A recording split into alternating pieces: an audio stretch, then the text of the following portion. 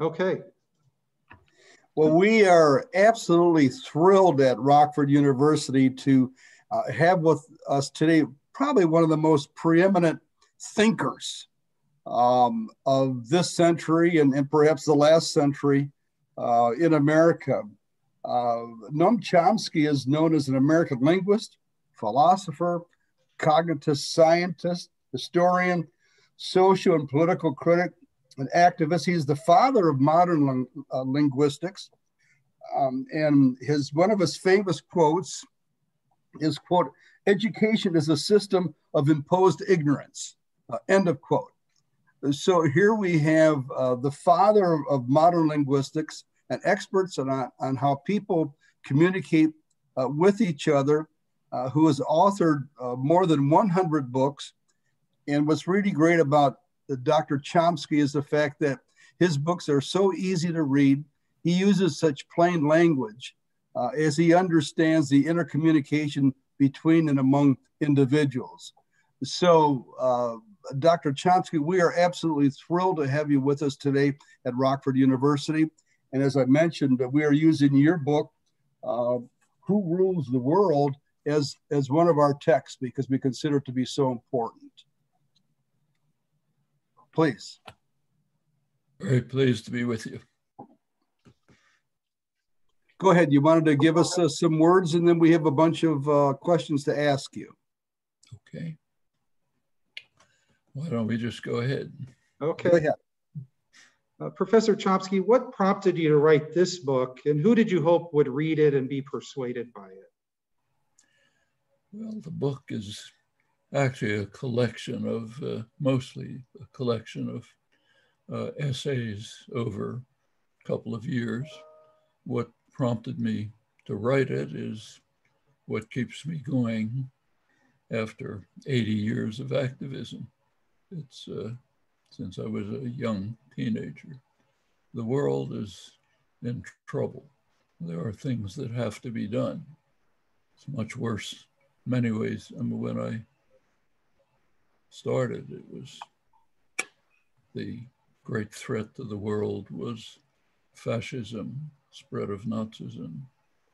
Didn't know it at the time in 1940, but the US government at the time, we now know, was planning for a post war world in which there would be two major powers the United States and Nazi Germany.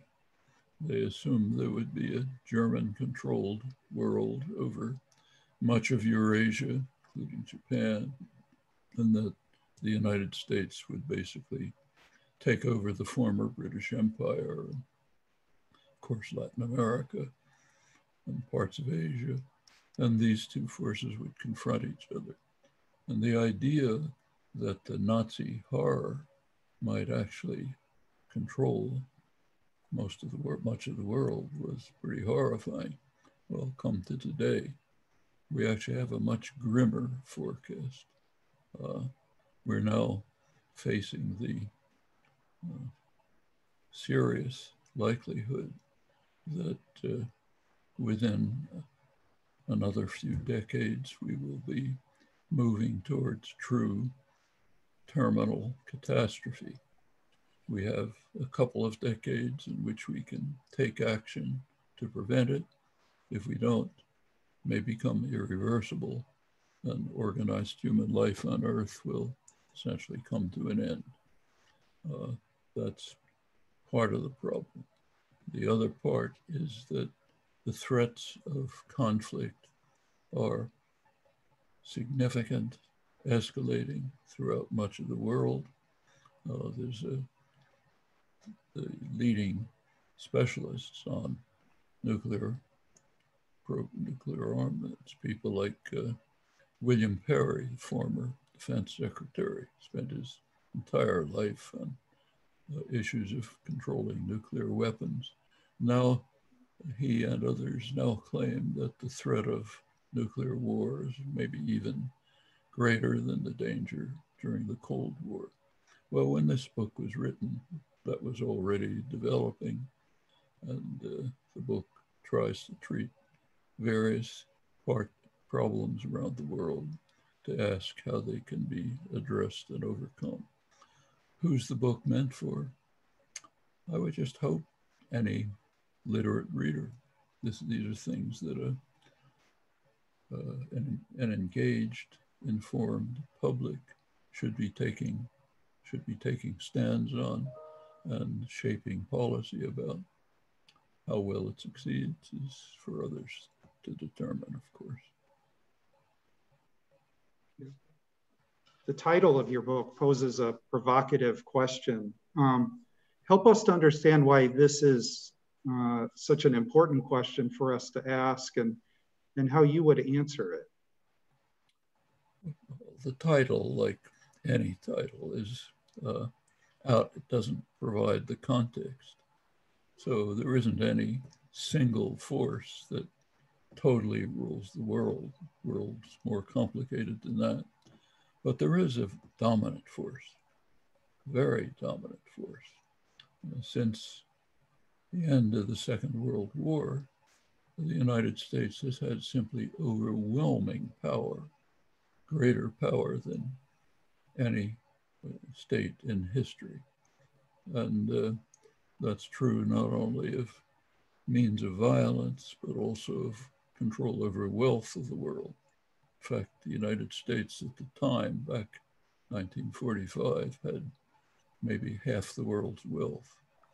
Uh, just to show you how many, how much things have changed. By now, U.S.-based multinational corporations based in the United States own about 50% of the world's wealth. So US global power has, of course, declined from that incredible peak, but it's the power of the US state, including, mean, in the broad sense, of meaning including the economic institutions and so on, that's remained overwhelming. And uh, US power, uh, simply to just think of a few examples of what country in the world can impose sanctions on others. Can uh, Germany impose sanctions? Can China impose sanctions? Nobody can do it. I mean, they can try if they want, but they don't amount to anything. Now, the US probably has about a third of the world under sanctions, and they're taken very seriously. You can't disobey them. Uh, the US for 60 years has had uh, severe, harsh sanctions against Cuba. The world is totally opposed to this. Comes up every year at the United Nations in the General Assembly. Can't come up in the Security Council because the US would veto it, but it comes up in the General Assembly and the vote is unanimous against sanctions on Cuba. The only country that voted the United States is Israel, and they have to. Uh, they violate them, but they have to. Well, does that make any difference? No. The sanctions remain, and other countries have to adhere to them because these are third party sanctions. If others don't adhere to them, the US throws them out of the international financial system, which it controls, runs through New York. So if Sweden wants to send medical equipment to Cuba, they can't do it, or they get thrown out of the international system. Same with the sanctions on Iran and so on. Uh, no country has anything like that power. That's just overwhelming. And this shows up in case after case. We could talk about it. So, who rules the world? Well, nobody completely but the distribution of power in the world is highly skewed. And at the peak is the United States, which is, of course, important for us. And in fact, something we should be happy about because it means we're in a position to affect it. If the main center of power in the world were, uh, you know, say uh, Europe, we couldn't do much about it when it's the United States, if we choose, we can do quite a lot about it. I did it. And, uh, so and the book goes on actually, by now, I think there are even more striking examples than were discussed in the book. Um, if Don or Eric, if you want to jump in here, I'll I'll keep asking. Well, I have I have a question, Dr. Chomsky. The um, um, ever since we we found out that uh, you were going to uh, speak to our class, I think I've been reading everything I can about about your works and and, and totally fascinated. I uh, took a look at a summary of a book that you wrote on the media and talked about uh, public relations uh, as forming public opinion, molding public opinion. Uh, that is, it's hard to find the truth. Uh, one of your favorite newspapers is Financial Times, which is interesting because we had a very conservative uh, gentleman on the show a couple of weeks ago as a journalist, and he said that's also his favorite uh, source of information. And um, and my question to you is, in light of what's going on with Twitter and Facebook, even though they're privately owned, uh, being accused of or perhaps controlling political media, what your thoughts are on what's happened in in for lack of a better word, thought control over uh, the life of your career? Well, of course, if you're interested in facts about, the, you want to know what's happening in the world, there's no use looking at Twitter or Facebook. They don't have journalists out there reporting on what's happening in the world. Uh, Facebook uh, provides a, a, kind of a summary of headlines, but that's just filtering what's already produced by the major media. They are the sources of direct information. Uh, first thing I do in the morning is read the New York Times, the world's major newspaper. There are flaws, there are distortions, there are uh, the, the, the, the way the world is looked at is shaped by certain perspectives but you can compensate for them. It's not, it's not quantum physics. Understand the biases and the factors that enter into shaping the way they, what they present and how they present it, you can compensate. But, and that's of course not the only source of news, but Twitter and Facebook are not sources. They, they don't tell you anything new. Uh, you can find out things from uh, uh, many internet sources we know are much better off in that respect than years earlier. If you really want to pursue things, you can find lots of different independent uh, analyses and investigations all over the internet. But if you get trapped into what social media lead you into, you're in trouble. It has the effect of directing people into bubbles where you tend to hear what you want to hear and what uh, agrees with you. No one's immune to that. I do it too. I go to sources where I know that I can have some sympathy with the points of view of the people who are running them and the participants. And that can be a danger. And it's becoming a serious danger it's leading much of the population uh, into bubbles where they hear nothing but what reinforces and confirms their own prejudices and biases.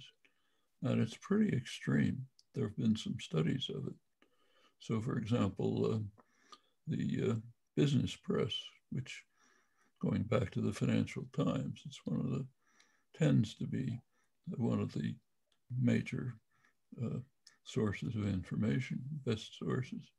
Business Press ran a study a little while ago of uh, uh, where Americans got their news and information. Studied about 30 media, uh, uh, press, television, internet, uh, radio. I think there are about 30 choices And it just asks people which are which are the main choices you go to. Well, among and it split it in various categories. An interesting split was Democrats, Republicans. Among Democrats, it was a fair distribution of media, by you know, tended towards uh, the ones that are called more liberal, but fair range. Among Republicans, Fox News, Rush Limbaugh, Breitbart, almost nothing else. Well, if that's where your picture of the world is coming from, you're going to have a very strange picture. It's not going to look much like the actual world. Uh, so, for example, you'll assume that uh, uh, heating the atmosphere, global warming, is not a very serious problem. And you'll assume that humans may have nothing to do with it. This is only the most serious problem that has ever arisen in human history. Humans have everything to do with it. And if we don't take command of the issue, we're, we're finished. But if this is your source of news, you may not be aware of that. Now, that's the kind of thing that replicates all over the place uh, in, among activist, left activist groups too. They are nothing but what they want to hear. That's not the way you understand the world. So I think there's there's a kind of to divide your question into two parts. The main sources of news, I think, remain pretty much subject to the kinds of analysis that you refer to. But in terms of control of opinion, there are other factors that have entered, like, for example, the effect of being immersed in social media, which, if you use it constructively, can be very helpful, searching for background, for sources, for uh, uh, analyses beyond what you see on the surface. But if you get caught in, into the internet bubbles, it can be quite harmful. Dr. Leader, Dr. Fulcomer, do you have the next question? Ron, I, I don't know. I have a question more about uh, his background, but I don't know if you wanted to go into more about the book. I haven't had the privilege of reading the book. So let's, let's talk about this fascinating background. Go ahead.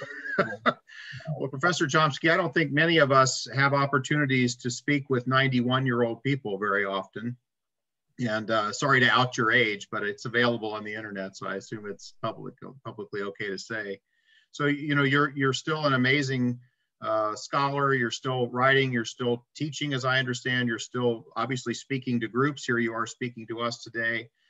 Um, but when I when I think about scholars and I think about faculty members and uh, professors, they generally are experts in in a specific topic, and they they hone in their research and their and their thinking and their writing on one specific topic. But when I read about your background, I see that you're a linguist, a philosopher, a cognitive scientist, historian, social critic, political activist. So you're you're very you know you're very diverse in your um, in your knowledge, in your writing, in your work. And I'm just curious as to uh, how that developed and and uh, how you've become such a unique uh, person within uh, academia and within um, within the world in which you exist. Well, lucky accidents, uh, I went to, it started when I was two years old. My parents were working parents. They were educators. They happened to both be interested in uh, Deweyite uh, progressive education. And they, uh, they sent me to school. I, I was, I've been in school ever since I was two years old, 90 years. Never left one or another school. Uh, but uh, started at the Deweyite Progressive Education. Uh, they had an experimental school run by Temple University, where the School of Education happened to be committed Deweyites. And I stayed there till I was in high school. And it was a very striking formative experience. Uh, Deweyite education was, not, was the opposite of what we have now. Uh, what we have now basically is teaching to test, uh, so an approach that was ridiculed in the 18th century during the Enlightenment as pouring water into a vessel, and then the vessel, water comes out of it. And it's a very leaky vessel, as we all know. Uh, you can take some course that you have no interest in, uh, work hard enough to get an A in the exam, and uh, a month later you forgot what the course was about because it didn't come from inside. You weren't uh, carrying out the initiative of exploring, inquiring, investigating, and so on. Well, the Deweyite education is the opposite. It was basically encouraging you to, to it was exploiting the natural curiosity that children have and saying, good, explore it, push your interests for, forward, cooperate with others, because that's the best way to move forward. And out of that comes your education. There was a structured curriculum, like you took the courses that you were supposed to, but they were all designed so as to allow you to develop your creative instincts, abilities, pursue your interests, work in common with others, and so on. It was very successful. And uh, I went to an academic high school, which was conventional, uh, the one high school in the city for kids who planned to go on to college. And it was very boring. A dark spot in my memory. Did all the work you were supposed to do, but didn't pay much attention to it. When I got to college, again, I just had a lucky experience. I went to the University of Pennsylvania, which in those days was mostly a football and fraternity school. But there were some, a few scattering of really outstanding faculty in different fields. And I kind of gravitated to them. So I was taking graduate courses in lots, several different fields. I didn't have much of an undergraduate education, but it kind of worked. I was, won't go through the rest, but I was lucky enough to have opportunities all the way through to just keep going the same way. Uh, when I got to MIT, I, was appointed to MIT to teach in 1955. I had no professional qualifications. The field in, of my professional work didn't exist at the time. It wasn't a field but they didn't much care. It's uh, it was a science-based university. If you're doing work that seems interesting, fine, go ahead and do it. And uh, was able to continue to develop, in fact, what became the major global center of modern linguistics, now spread all over the world. Was able to initiate a philosophy program, which didn't exist. Uh, other programs developed, uh, but it was uh, basically a, uh, the, the, the essence of the university is kind of captured in the words of a major world-renowned physicist, uh, Victor Weisskopf, who was famous for his uh, introductory lectures in his freshman physics courses. If students would ask, uh, what are we going to cover this semester? His answer was, uh, it doesn't matter what we cover, it matters what you discover. That's what education is. Creating opportunities and incentive for you to discover. Then you'll know it. If you just read it in a book and pass an exam, you won't know it. So the point of education, and it's very much along the Deweyite lines that I learned about when I was two years old. Now at, a, at the world's leading scientific university where the basically the same conceptions are followed. What matters is what you discover.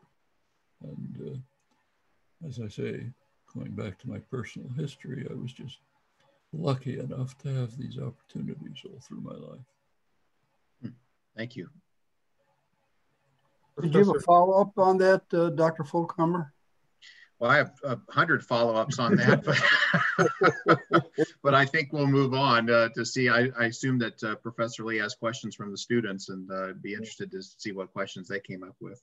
I, you know, what you just said though makes me want to ask this question. There's so much debate right now about the value of higher education and whether it's worth it and um, and also the value of a liberal arts education. So I, I could discern from what you were saying just now um, where you might stand on that. Could you speak to those questions more directly? How would you, what would you say in the midst of these debates about that? We have, we are the inheritors of a rich, complex culture. And in the modern period today, doesn't anymore just have to be the European tradition. We can draw from Asian, African, indigenous, other rich, wealthy traditions. Now, we could put all that aside and say, I don't care. I don't care about the enormous cultural wealth and richness that's been developed throughout history. I don't care. I just want to get a job. Okay. So all I want to do is get a job and get well paid and have fun. Okay. Then forget about the liberal arts, the humanities, uh, uh, music, and philosophy, and so on, and just learn how to carry out the, the narrow range of activities that you'll get paid for. You'll have a very restricted life.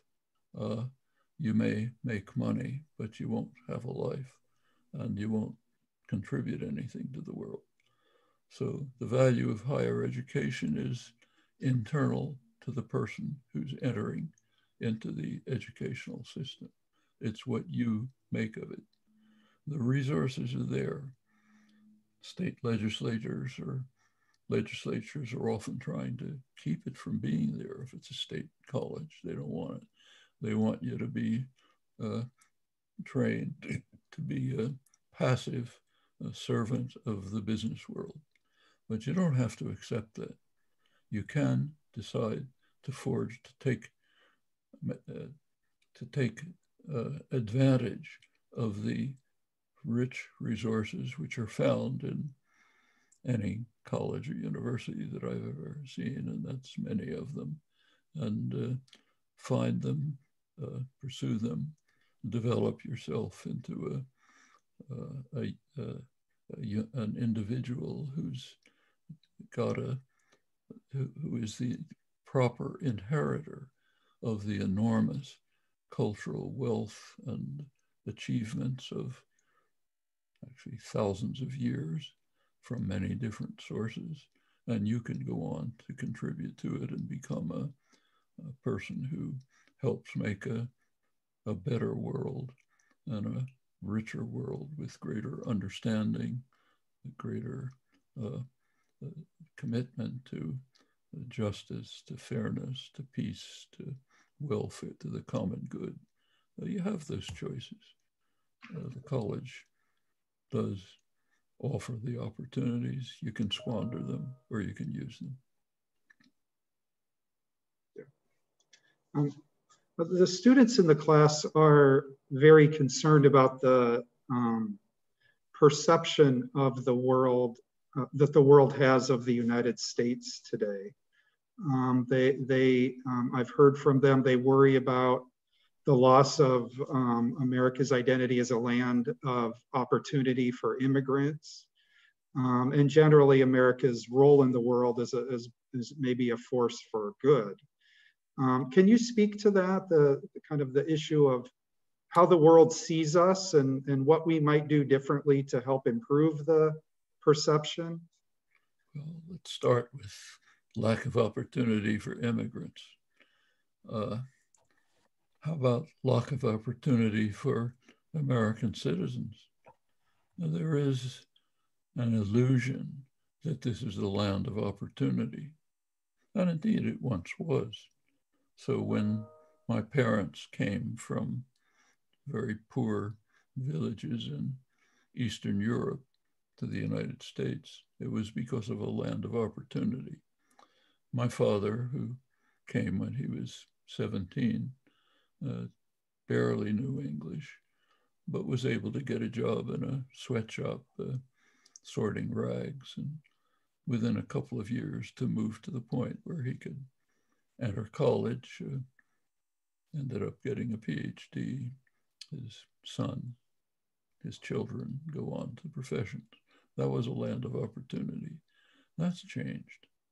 Social mobility in the United States is very low. It's less than in comparable countries.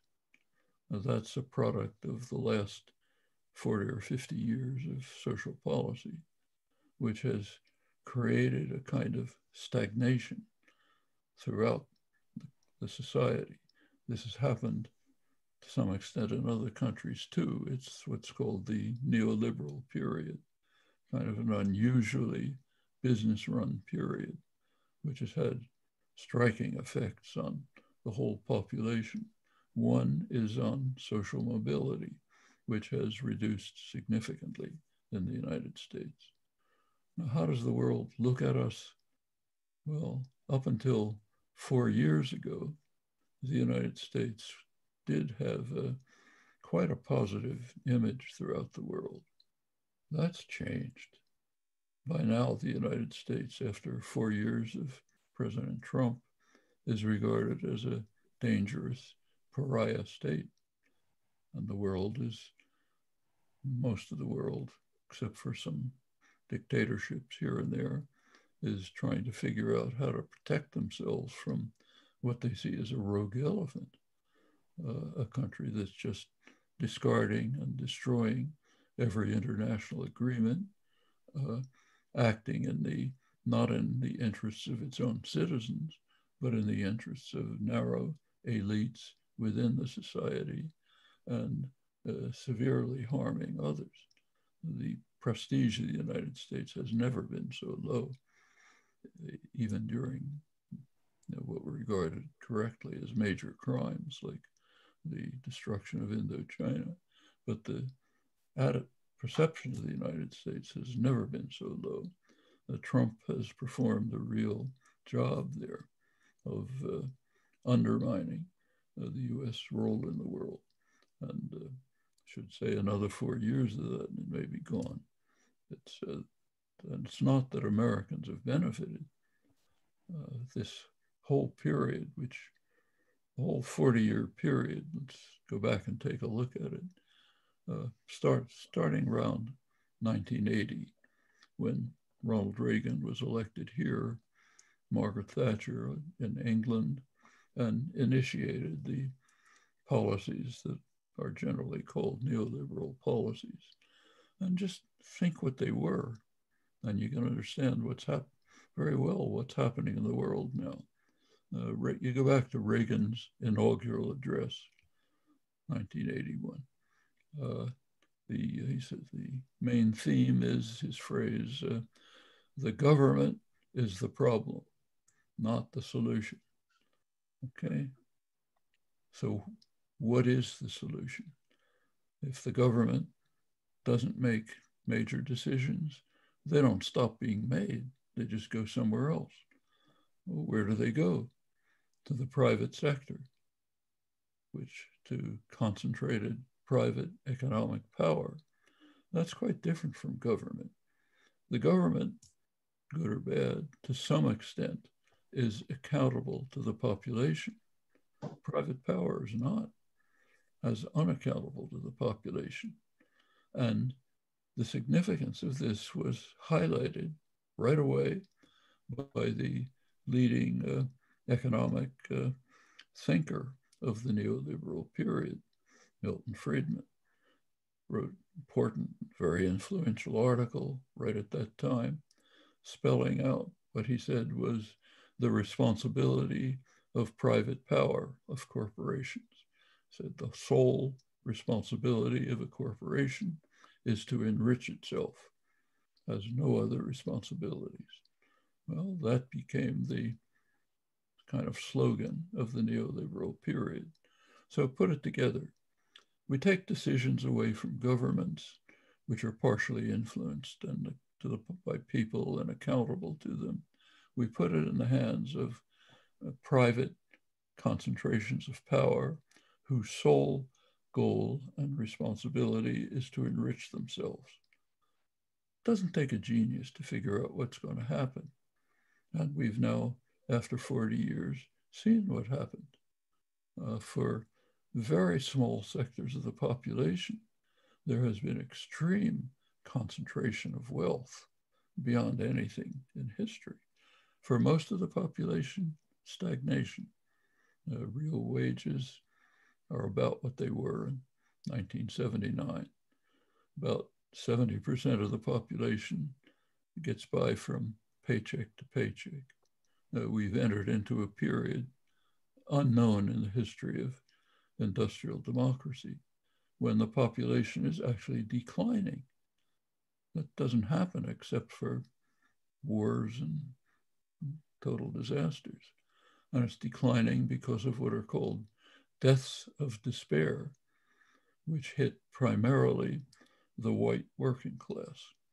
Uh, working class, mostly males, 25 to 50, are just dying uh, because there's nothing in life for them. So they die of alcoholism, uh, uh, drugs, uh, whatever. That's never happened before. The last two or three years, the population has actually declined. There's a measure of this. The Rand Corporation, one of the most uh, respected uh, independent Uh, uh, analytic corporations devoted to analysis of policy and society. They just put out an interesting study in which they tried to estimate how much wealth was transferred from the middle class and the working class, the bottom 90% of the population, how much was transferred from them to the very rich during the neoliberal period. Uh, their estimate is $47 trillion transferred from the lower 90% working class, middle class, to the very top. And if you look at who the very top is, it's not the top 10%. there's some benefits there, but it's highly skewed toward the very top, the top 0.1%, 0.1% of the population has doubled its wealth since Reagan from 10% to 20% of total wealth. That means 0.1% of the population now controls 20% of the wealth of the country, which is a spectacular number, sharply increased, while everyone else is paying out $47 trillion. Well, that leaves a country where you're not too surprised by deaths of despair and by anger, uh, resentment, uh, belief in conspiracies, uh, seeking some way of explanation what's happened to us. Very fertile turf for demagogues who can say, follow me, I'm your savior, and meanwhile continue to stab you in the back. And we're seeing that. We see it in the United States. We've seen it in other countries which have been subject to one or another form of these policies. So that's a large part of the world in which we live, and it goes right back to social mobility one of the reasons it's sharply declined, but it's much broader than that. Now, how does the world see us? Right now, in the last four years, it sees us as a danger. Doesn't like what we're doing. I mentioned uh, the sanctions on Cuba, which we don't even talk about. The world thinks they're grotesque, but we don't talk about them. Let's take something we do talk about the sanctions on Iran and just notice what happened in the last few weeks, which gives you a good explanation of how the world looks at us. Uh, the United Nations had sanctions against Iran. Uh, they've run out. After the United, there was a joint agreement on uh, nuclear weapons policies in Iran. The Trump administration tore it up, said, we don't want it. one of the many international agreements they've torn up. Okay, the United States pulled out. Uh, the United Nations sanctions remained, but they just ran out. The United States went to the Security Council of the United Nations and requested that the UN sanctions be renewed.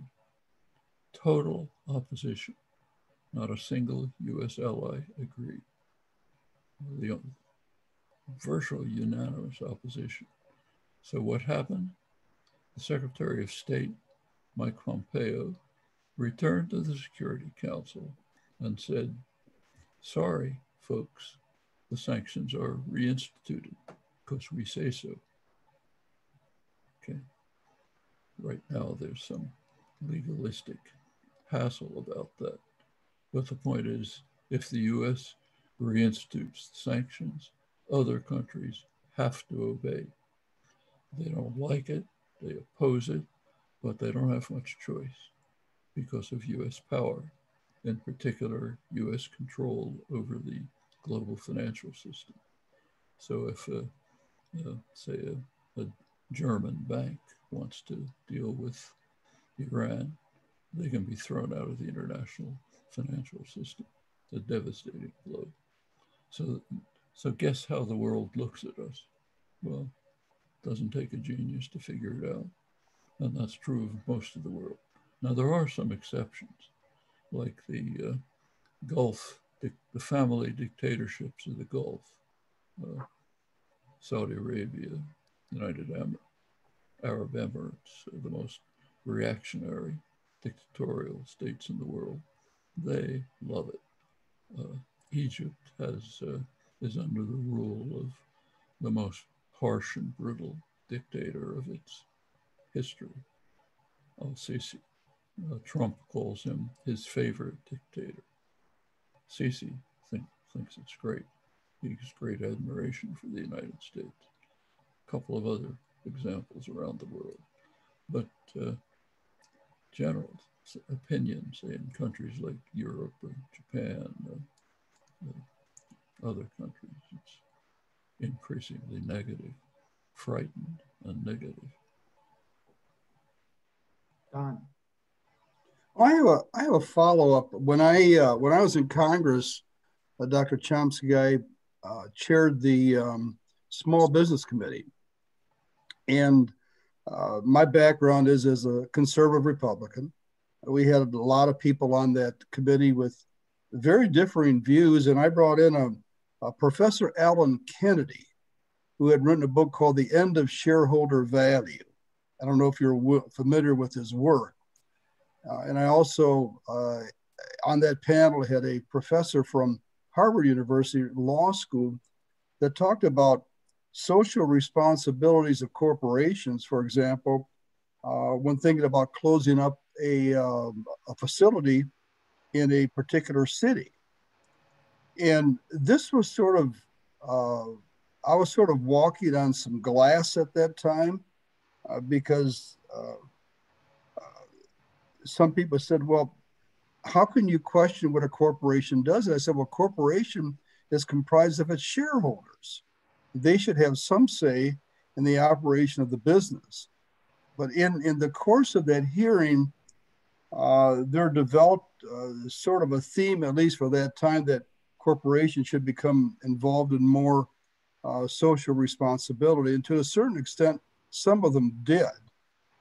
But now we have uh, these large corporations, including the people that uh, run uh, the social media, and the problems there that uh, what you're saying uh, about size in itself being so great that's shared by many people on on both sides of the political spectrum.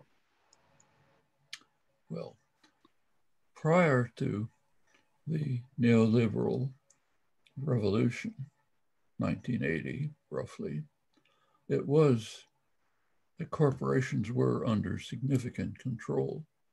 Uh, for one thing, let's take the financial institutions.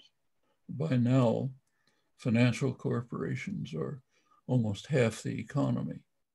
And uh, they are the ones who are responsible for the uh, recession in 2008, 2009, uh, predatory lending policies and so on. At that point, they already had 40% of corporate profits. Let's go back to the pre 1980 period. They weren't there. Pre 1980, banks were banks. It's a place where you had a little extra money, you put it in the bank, they would lend it to somebody who was starting a business, uh, wanted to buy a car or something like that. There were virtually no financial crises, nothing serious. Uh, there were no such things as uh, share buybacks. There were no tax havens. There was none of that. It was all illegal. And the uh, Treasury Department enforced it, uh, not claiming it was utopia. A lot of things were wrong. But that was basically what was called regimented capitalism. The system was more or less under control. Uh, when uh, you know, the head of General Motors said, uh, what's good for General Motors is what's good for the country. It wasn't a total farce. There was something to it. Uh, corporations like, say, General Motors were mostly run by people who came out of the engineering profession, who knew about the industry and wanted to build the corporation for the future. That's not true today. Now, since the 1980s, increasingly, the corporations are run by people who came out who got an MBA at Harvard Business School. They don't know anything about the industry. They know something about how to manipulate money and make money. And take a look at the world's largest corporation, Apple.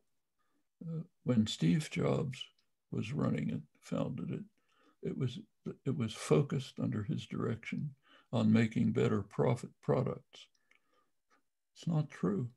Under Tim Cook today, shifting resources to financial speculation and manipulation because you can make more money that way. The product division is declining. Research and development is declining. Financial manipulations are declining. Uh, they don't have to pay taxes because you can set up an office in Ireland and say that's where my corporation is. These are all new things that have developed, including, incidentally, monopolization. One of the effects of the deregulation introduced by, started in late Carter, but then picked up steam with Reagan and his successors, has been one result of this has been that the whole economy has been pretty heavily monopolized. Uh, deregulation on paper sounds like it might lead to competition, has the opposite effect, has the effect that the big fish swallow the small fish, and you get more and more concentration. In the tech industry, it's, which you mentioned, of course, outlandish, but elsewhere too. Well, uh, all, all of these developments uh, have led to uh, pursuit of the Friedmanite doctrine that the sole role of corporations is simply self-enrichment. So right now, for example, lots of corporations are airlines, others uh, racing to the Treasury Department to ask for bailouts, uh, just as they did in 2008 ask for bailouts uh, because of the effect of the pandemic. Well, what were they doing from 2009 to the present when they were making tons of money, very profitable? They weren't using it to build the corporations. They were using it on things like share buybacks and uh, uh, shell companies, uh, other financial manipulations, which you make a lot of money from. So yeah, now they're broke. Uh, consumer spending goes down. They're in trouble. Go to the government for a handout. That's been going on ever since Reagan. Uh, one of his first acts, early acts, was to bail out uh, the Continental uh, Illinois Bank, which was in trouble. New big bailout. Uh, his his term ended with the uh, savings and loan crisis, huge crisis from corporate corruption, which the taxpayer bailed them out for. Uh, then comes along Clinton, you end up with a tech bubble, burst, taxpayer pays for it. We go on to 2008, housing crisis, financial crisis, taxpayer pays, bails them out, then you get the next one. Uh, the, all of these things are pretty predictable results of the structure of the neoliberal policies. Decisions shift the government, government policy is weakened, no more regulation, uh, uh, banks are free to carry out whatever kinds of speculation they want. Uh, if they get into trouble, the taxpayer will bail, bail them out. Uh, and the same is true for industry after industry. So there has been growth since 1980. It's not that the economy stopped, continued to grow, not at the pace of earlier years, but it did grow. But that growth went, the profits of that growth went into very few pockets. You look at the graphs of growth and wages, even minimum wage and growth. Up until the late 70s, uh, they're all tracked together. As growth increases, wages increase. Starting right at that point, accelerating since 1980, they separate. The growth and productivity continue, not as fast as before, but they do continue.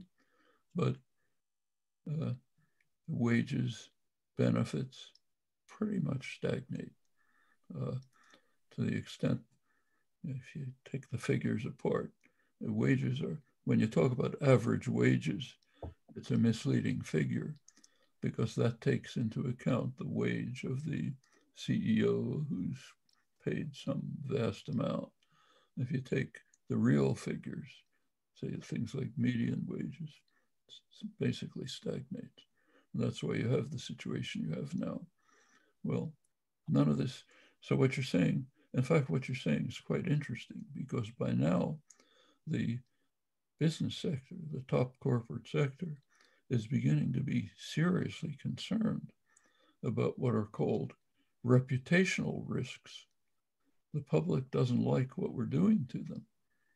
Uh, you may, I'm sure you recall, a couple of months ago, the uh, uh, the uh, Business Roundtable, major business lobbying group, got together, uh, I think, a hundred or so top corporate executives who came out with a statement saying, uh, we recognize that we've failed in our responsibilities to the general public.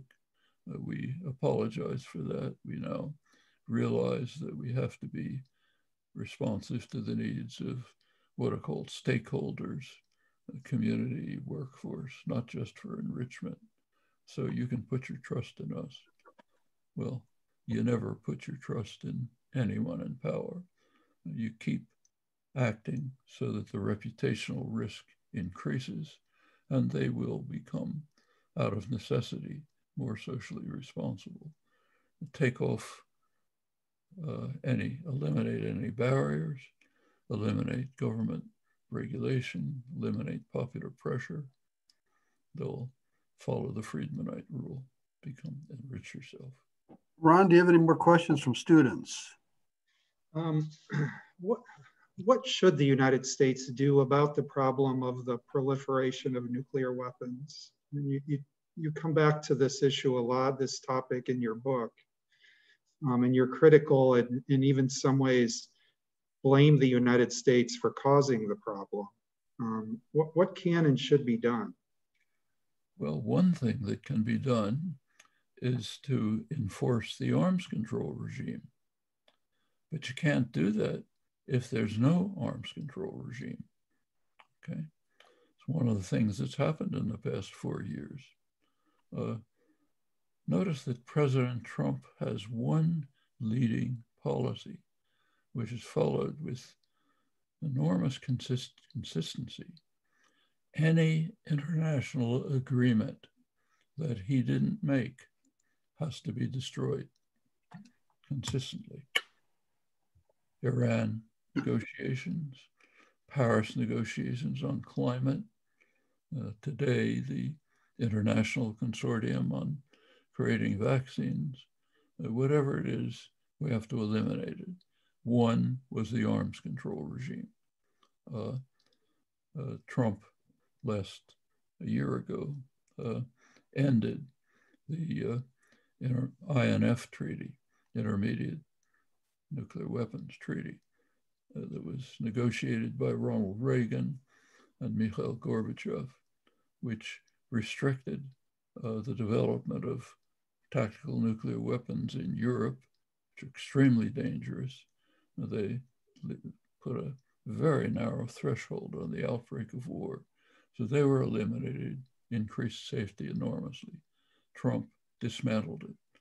Not only dismantled it, but moved immediately to signal to the world that we're finished with it.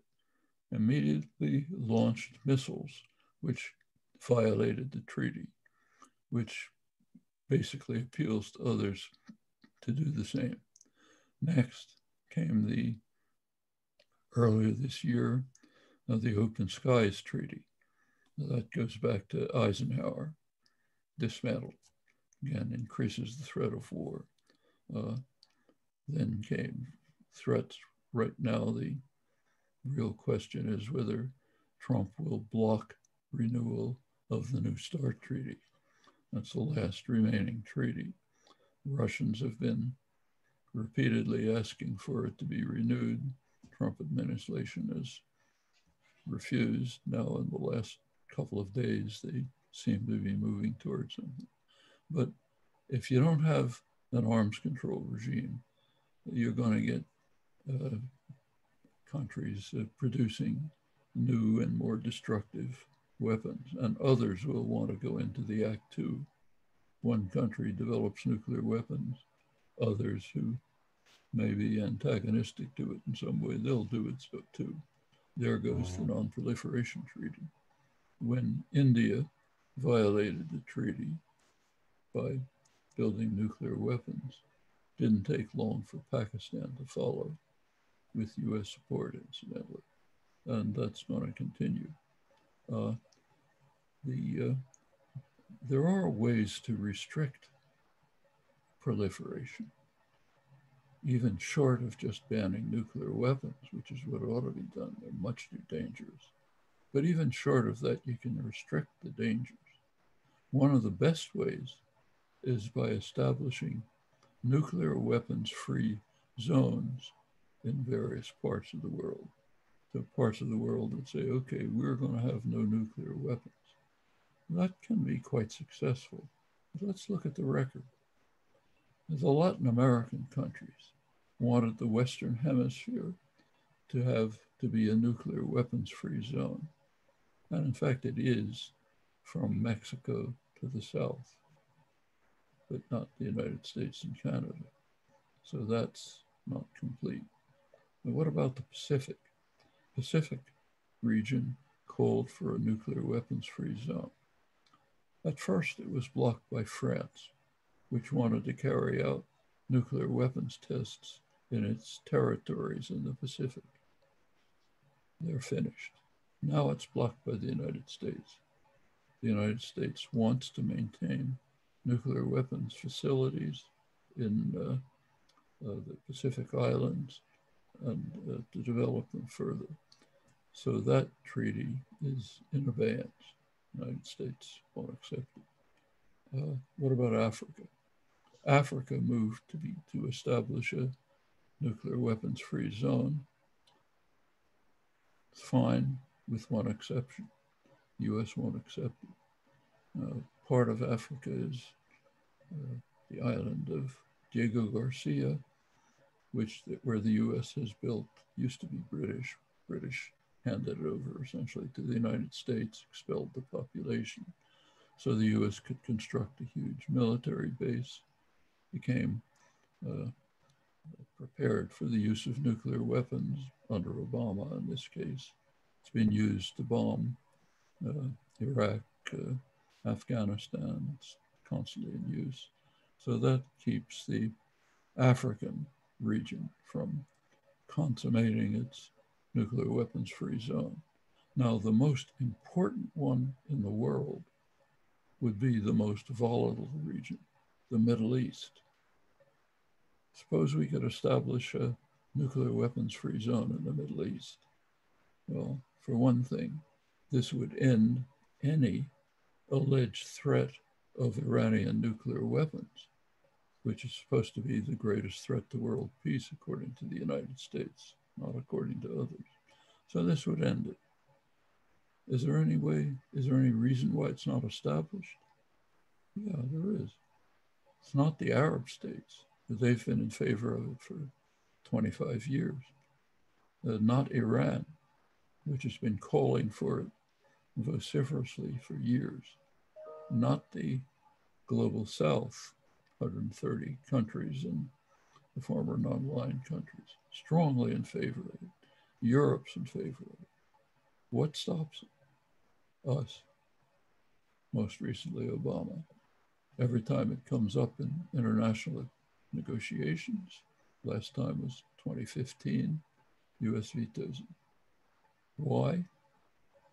The US doesn't want Israel's nuclear weapons to be inspected. In fact, the US does not even recognize officially that Israel has nuclear weapons course, it has. Everybody knows it. They don't even try to keep it a secret. But the United States doesn't recognize it. And there's a reason for that, too. US law bans economic and military aid to countries that have created nuclear weapons outside the framework of the Non-Proliferation Treaty. So if you recognize that Israel has nuclear weapons, serious questions would arise about all of U.S. Uh, U.S. aid to Israel. Nobody, elite groups don't want to open that door. So notice what's happening. We're maintaining what we call the greatest threat to world peace because we're not willing to agree with the rest of the with the region and the world that we can establish a nuclear weapons free zone. Well, that's one way to cut back proliferation. If you make it impossible, of course, you can't use it. And notice, incidentally, that this is never discussed in the United States. Of course, never is too strong. It's discussed in arms control journals. Uh, people like me discuss it, but it can never make it to the media. This is total uniformity kind of censorship you could barely achieve in a totalitarian state, and not on a small issue, on an issue that threatens seriously the outbreak of a major war, which could be quickly turned into a nuclear war. But silence reigns. So, going back to your earlier question about control over opinion, here's a pretty dramatic example of it. We do not have to accept that. We can move, the public can move forward to place such issues on the public agenda. That would make a big difference. So, about non-proliferation, a lot that we can do, but not if we sit quietly at home. You have to keep actively engaged in, first of all, informing yourself. It's not impossible, it takes a little work helping others to inform themselves, create active political organizations which deliberate, work out policy, find out ways to organize, and then proceed to do it. That's the way changes take place. Stay at home on your computer looking at uh, Facebook, nothing happens. Eric, do you have another question? I do. Um, Professor Chomsky, another topic that's very popular um, today, or is very important today, is is uh, free speech, and being able to and supporting free speech even when we don't agree with it, even when we find it abhorrent. And uh, having read about your your history, I believe that you are a proponent of free speech even when you don't agree. Can you you could confirm that, I guess. And then if you could just talk to us a little bit about uh, the threats you see to free speech today and what our role is in higher education and as educated citizens to uh, make sure that free speech continues to be something we value. Well, I'd modify that statement only in, with a friendly amendment. Okay. So not only we defend free speech when we don't like what's expressed, but that's the primary way we express interest in free speech. Everybody's interested in freedom of speech for views they like, even Hitler and Stalin. So the question of free speech arises precisely when it's views you don't like. And either you say, okay, I don't like them, but they're freely expressed, and you believe in free speech, or you say, I don't like them, I'm going to stop them, and you're opposed to free speech. You're taking the views of Stalin and Hitler, for example. Now that's the constant choice. And it's a hard choice sometimes because it means I'm saying, okay, speech that I think is uh, abhorrent, even dangerous, but either I accept freedom of speech or I reject it. And if I accept it, I accept it for those views. Now, that doesn't mean you're silent about them. So let's take a concrete case. I suppose some group at, at, the, at the Rockford invites to the campus uh, somebody who, a large part of the student body, has views that they think are abhorrent and shouldn't be expressed. Well, they have two choices. One is to try to break up the meeting, prevent the person from coming onto campus. Uh, that's one way. That says, I oppose freedom of speech for views I don't like. There's another way, which is both principled and helpful, principled and constructive. That is to say, okay, let the person come, set up educational programs which expose what the person is saying, criticize and condemn it, use it as a basis for moving forward to counter those ideas. That's positive. It's a learning experience, provides a basis for really doing something about those ideas. If you take the first mode, kick them off campus, you're just giving them, a, aside from being unprincipled, it's tactically point stupid. It's just giving them a gift. They love it. Then they can say, look, I'm a great defender of freedom of speech, and these neo Nazis don't let me speak. That gives them credibility. And they love it. You see it all the time. In fact, uh, President Trump's practically building his campaign on it now. It's a great gift to the people you're protesting to say, I'm going to keep you off campus. So tactically suicidal, wrong in principle.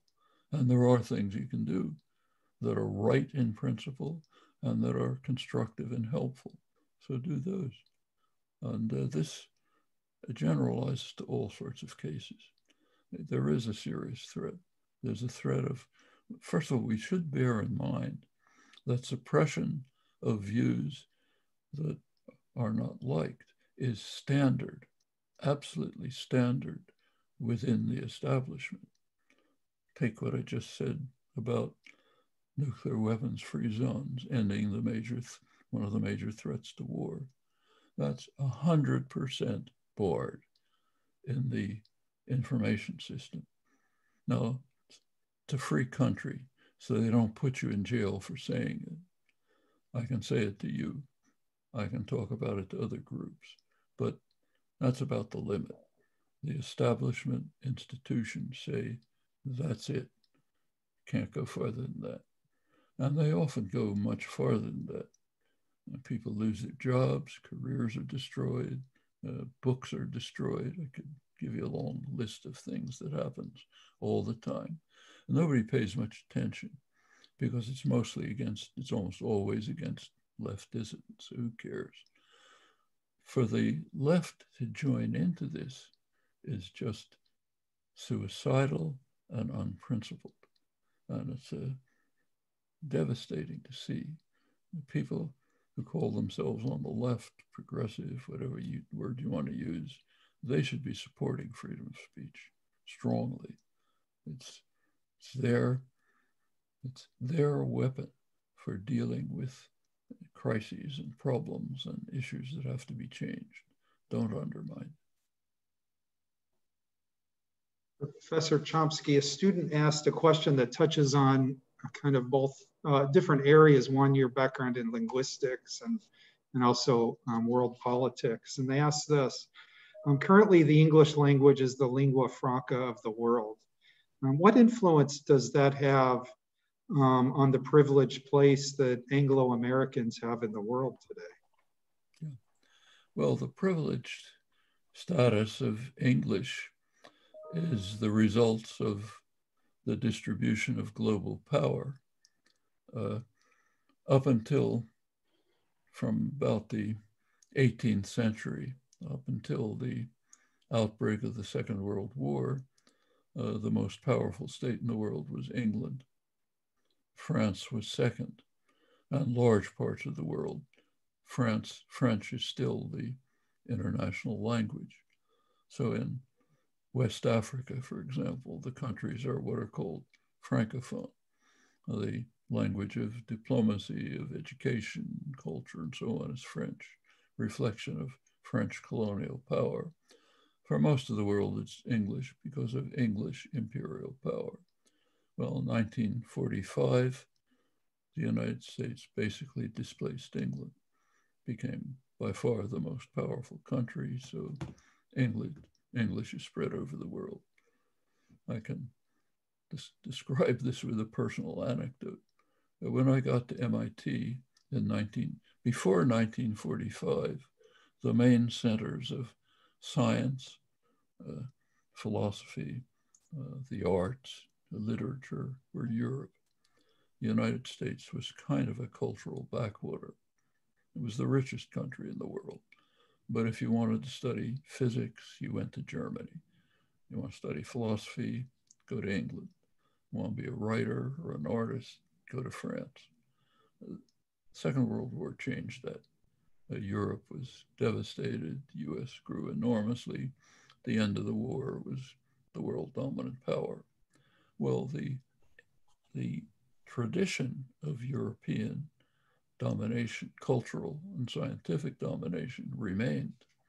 So when I got to MIT in 1955, uh, one of the things I was doing was teaching cram courses to graduate students in French and German so that they could fake their way through French and German reading exams they were never going to look at French and German again in their lives. But before World War II, if you wanted to be a scientist or an engineer, you were going to have to read French and German. So that remained for about 10 years, kind of, you know, just uh, took a while for reality to set in. Of course, by now it's all forgotten. Now, if you're in Europe, you study English uh, but that's a reflection of world power. If uh, the, the US continues to decline, continues in the direction that Trump is driving it towards decline, isolation, others taking over, it's going to shift again. Uh, so uh, I think it's simply a reflection of power relations. What, what would what might you ex, what might we expect in a uh, a Biden uh, administration's foreign policy? Do you see any substantive changes? Well, let alone I wouldn't expect it to change. I mean, it won't be a wrecking ball. So what'll stop is wrecking everything. Uh, Biden will presumably integrate the United States back into the world system. But for really positive changes, like say what I just mentioned about Iran or Cuba or many others, he won't move in that direction unless forced.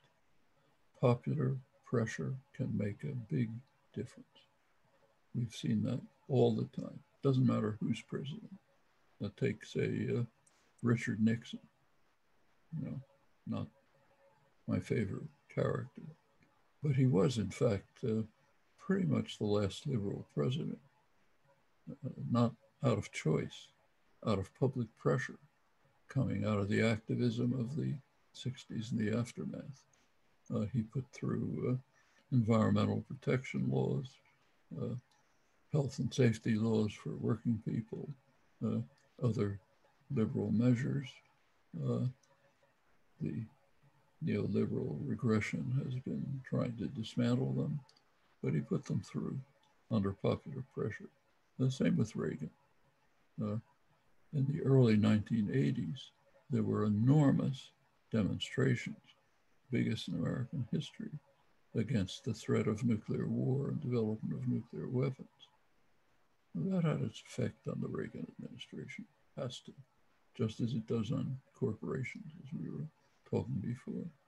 It's one of the factors that led Reagan to agree with Gorbachev on uh, sharply reducing the threat of war in Europe with the INF Treaty, Intermediate Range Nuclear Weapons Treaty. Uh, and the same is true throughout. And it goes back to Franklin Delano Roosevelt. Uh, Roosevelt, if it hadn't been for the militant labor organizing, formation of the CIO, large scale strikes, uh, lots of other political activism, he would never have been able to push through the New Deal measures. He was kind of sympathetic, he wasn't opposed to them. But he said straight out, force me to do it by your political action. Otherwise, you can't. And that's true of just about everything.